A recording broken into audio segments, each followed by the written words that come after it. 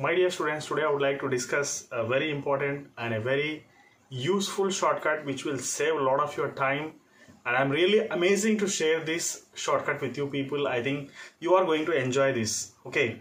So if you see this problem here, he's asking us to find out what is the recoil speed of an atom uh, when there is a transmission of uh, uh, an electron from higher energy level to lower energy level.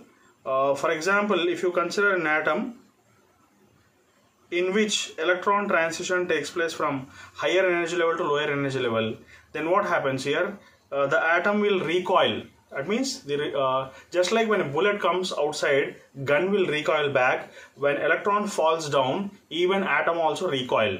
So for that there is a shortcut formula uh, what is that shortcut formula? I am sharing this formula here.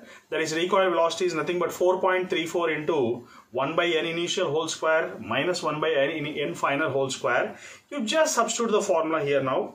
So therefore uh, recoil velocity is equal to 4.34 1 by 1 square minus 1 by 5 square okay so finally we're getting 4.34 into 24 by 25 which is going to be approximately 4.166 which is nothing but 4.17 meters per second. You are getting the answer. Hope you have enjoyed this shortcut which will save a lot of your time. Thank you very much. Have a nice day